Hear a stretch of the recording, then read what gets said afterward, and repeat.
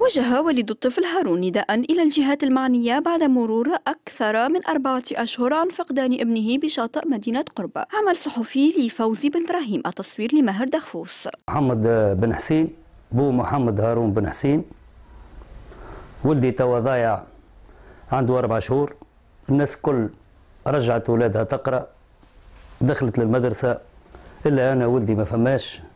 ماذا بيا السلطات والناس المعنية بالأمر؟ توقف معايا. رأي ظروفي ما هي زيد المرأة مريضة بالأعصاب. وأنا يا ويلي نخدم على اللي موجودين عندي ولا نفركس عليه. هو ضعت مانيش عارف باش نعمل. و...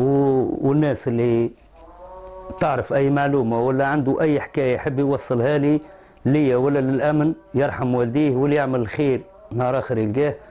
والولد تو الله أعلم.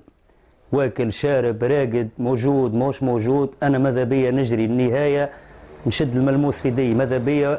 على ولدي.